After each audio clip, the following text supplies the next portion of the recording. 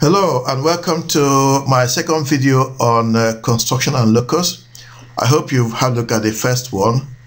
Uh, essentially, we are asked to draw a line perpendicular to the point P and to use just ruler and compasses only. This is um, a grade D type question and it's from a higher paper of uh, GCSE, IGCSE type question as well. I hope you find it interesting. Now, firstly, we need to create a new segment on the line AB such that this new segment or this new line on the line AB has P at its center. The P is the center of this new line. And if we draw a circle with center P and radius uh, PY or PZ, we have uh, a circle that cuts the original line at the points Y and Z. So the, the segment YZ is now a new line with, a, with its middle point or its center at the point P.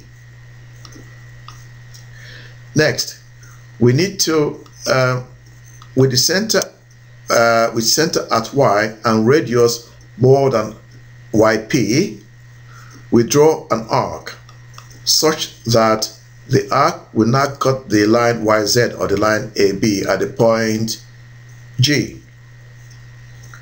Now, with the same radius, do not change your radius. Now, this time the center at the point Z, we draw another arc that meets the line YZ or the line AB at the point H. Now, these two arcs will now meet at the points X and W. Next, we if we now join the uh, points X and W, that will give us the required perpendicular line. Now, can you check for yourself that the line or uh, the angle XPY and XPZ, now each of these angles is 90 degrees. Do not rub off any construction line or you lose marks for them. Leave the construction lines in. And I hope this has been of some help. Um, please, please watch uh, part one and and again, please subscribe.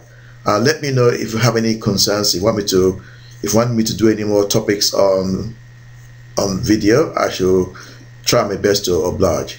Thank you for watching and have a good day. Bye bye.